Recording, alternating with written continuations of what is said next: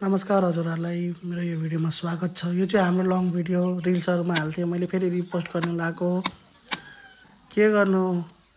फेसबुकले मोनिटाइजै गर्दैन। अब long video हालौँ के हुन्छ हेरौँ।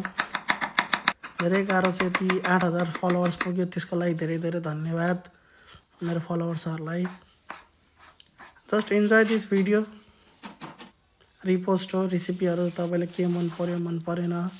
कमेन्ट डाउन बिलो लाइक गरिदिनु होला सेयर गरिदिनु होला। यो चाहिँ अलिक फास्ट रिलमा हाल्ने भएको भएर एक मिनटको लागि लङ भिडियो हजुरले रुचाउन चाहनुहुन्छ भने कमेन्ट गर्नुहोस् मलाई लङ भिडियो चाहियो फुल रेसिपी चाहियो भन्नुहोस्। कमेन्टमा पनि पिन गरिदिन्छु म बरु। जस्ट इन्जोय यो चाहिँ हाम्रो राँगो खुट्टाको सुप हो एकदम बवाल भएको थियो त्यो बेला। हाम्रो यो के भन्छ? खानी चाहिँ हाम्रो बुवा हुनुहुन्छ। एकदम खानु खानुमा त मासु लभर हो क्या मासु लभर मेरो बुवा चाहिँ। यो चाहिँ घट्ट कलेज हो। फ्राई मात्रै गरेको यो चाहिँ।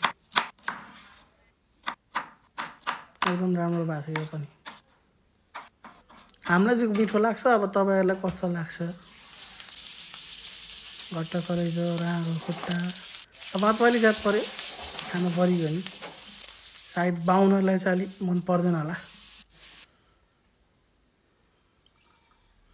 यो चाहिँ दाल भात टक्क कलेज लिएर झ्याम झ्याम खाइएको थियो। करेला पनि छ है भेजको लागि चाहिँ।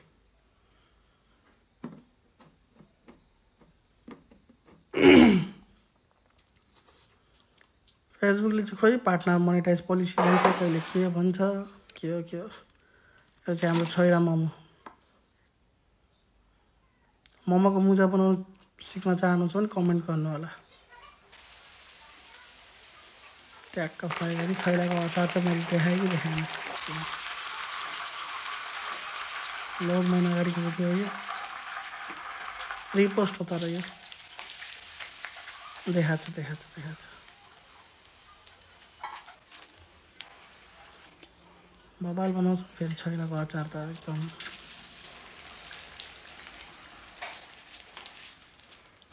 छैला पनि हामीले दिएको छ त उसमा सेलमा। सेलमा छ अब तपाईँहरू अर्डर गर्नु होला होम डेलिभरी पनि हुन्छ। नेपालभरि thank you for watching please like comment share अनि फलो गर्नु नबिर्सिनु होला